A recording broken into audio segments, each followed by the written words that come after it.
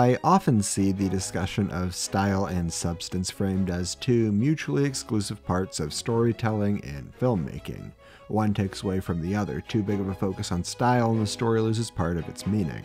Yorgos Lanthimos takes this idea and laughs. With every film that he has released so far, he finds a way to take a traditionally stylistic elements and infuse them into the story. He does this to the point where the two are inseparable, one complements the other, in the end result, a truly unique cinematic experience. Today, I would like to break down the favorite, in particular, looking at how these two elements interact with one another. To begin with the story, The Favorite is a film obsessed with power, and in particular, power imbalances.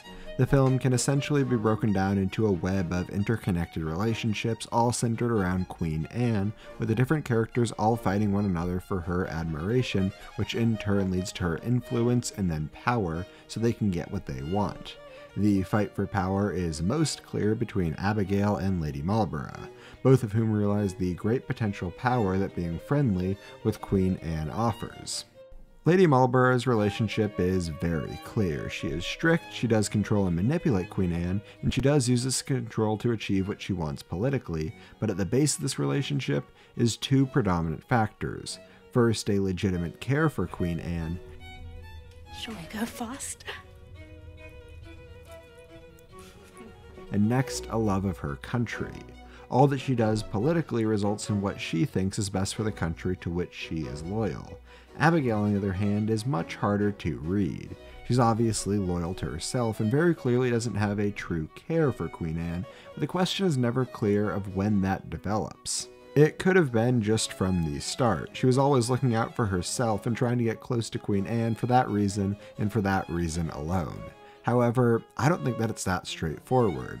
I think that Abigail cared for Queen Anne when she saw the pain that she was in and out of her own goodness decided to care for her. Once she saw that she could get something out of Queen Anne, she began to manipulate her, and once she got power, she let it go to her head.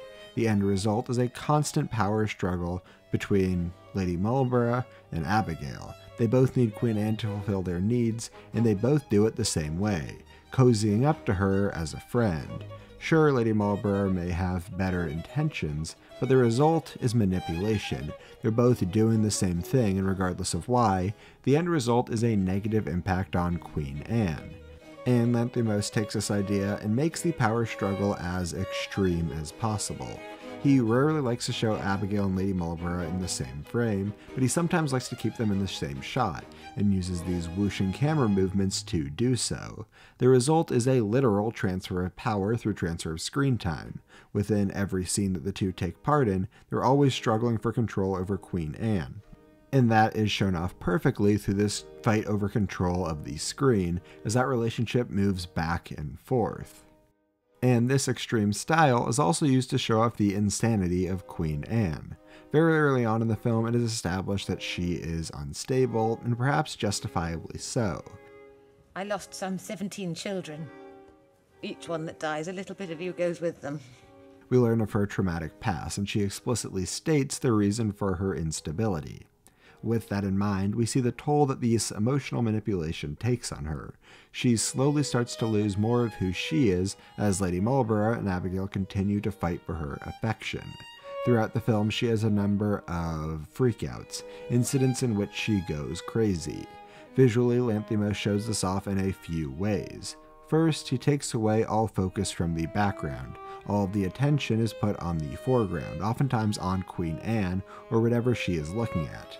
He next likes to keep the camera lingering. The audience, much like the movement deprived from Queen Anne, has no choice but to watch. He also places the audience in her perspective by moving the camera with her. As she moves, so do we.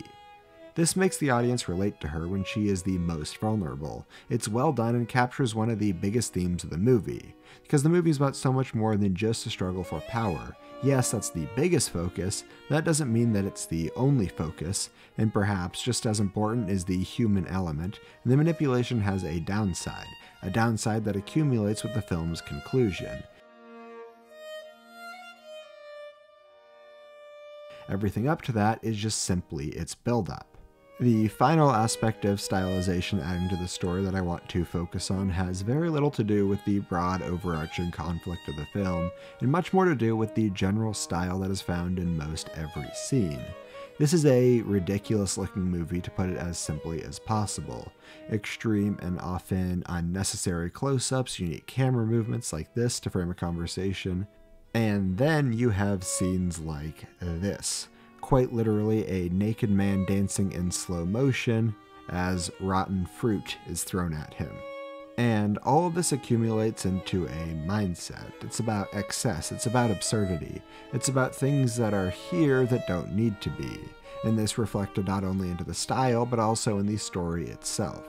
And take this conversation, for example. You're handsome. No wonder you cover it up or this scene in which Lanthimos perfectly captures the intensity of a goose race. Everything in this world is obsessed with status and things that, quite frankly, do not matter. Lanthimos captures all this nonsense and he shoots it like it's the most important thing in the world. It matters more than anything else. There is a war going on in the countryside. The people are upset because the increased taxes needed to pay for said war, and inside, this is happening.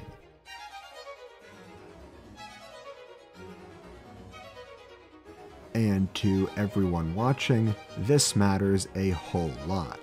Well, I should say, this matters to all except for Abigail and Lady Marlborough. They have much bigger concerns and priorities. They want power and they want to beat the other. They are the anomalies in this absurd world, and that is why they have been successful. It's worth pointing out that they might participate in this only because that is what is expected of them. That is how they gain power. They don't care about duck races or petty squabbles that exist within the castle, for they are much too concerned about being the favorite. Hey everyone, I hope you enjoyed. If you've seen enough of my videos, you probably know how much I love this movie, and I hope I was able to shed some light on some of the more stylistic elements of the film and how they work with the story to make both so much better. Because ultimately, that is what Lanthimos was able to create with this film. A weird hybrid of two unique elements that somehow come together and tell one of the greatest stories of the year. This video took a bit more time than usual to make just because I love this movie. I wanted to make sure that I did it justice. There was a whole lot of rewriting and just completely scrapping different ideas and going into a different direction. So I hope you enjoyed the end result of this. I'd love to start a conversation about the film, so please drop a comment and tell me your thoughts on the favorite. I'd guess some aspects of it are a little bit polarizing, but I definitely am interested in hearing what you have to say. Until next time, check out my last video, in which I looked at One Flew Over the Cuckoo's Nest and how that film establishes its conflict. Thank you for watching.